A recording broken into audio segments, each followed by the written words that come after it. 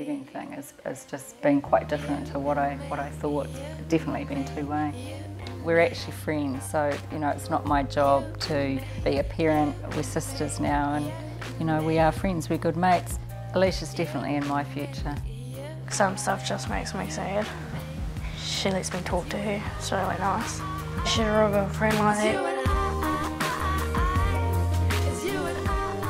Uh, to me, children are really precious and special, and I just think that it's everybody's responsibility to make their childhood cool for them. You know, and if I could help with one person who perhaps just needed some fun times in that, then I thought I should if I could. It's been pretty good going places instead of just staying home. It's good to know that someone's there if I ever need anything. Jeff will always be there. She's part of my family now. You know, she just is. Although she's my little sister, she's sort of my friend as well. I've just got one more special person in my world. It's cool.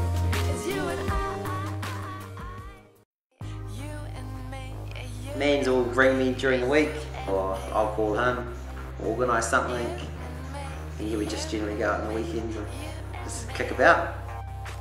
Baking, going to see the All Blacks, go to the falls, pools, Paritutu Rock, skateboarding, everything.